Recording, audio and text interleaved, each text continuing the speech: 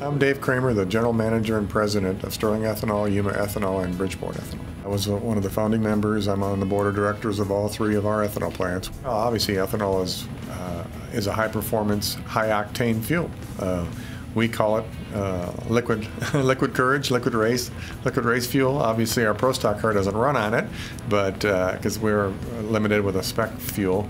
But uh, ethanol is clean burning, uh, higher octane, uh, great for the environment, and a, and a good all-around product, uh, locally raised and produced.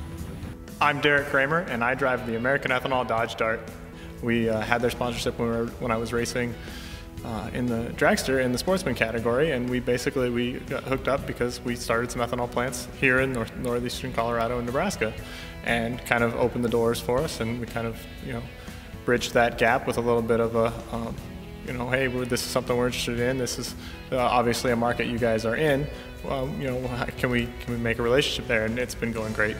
People that are going to either the NASCAR races or the NHRA races are are what we call motorheads, and they need to learn, and that a lot of them know about the, the performance advantage of ethanol over the uh, natural gas. Uh, ethanol is a higher octane performance fuel that burns cooler and is more efficient than gas.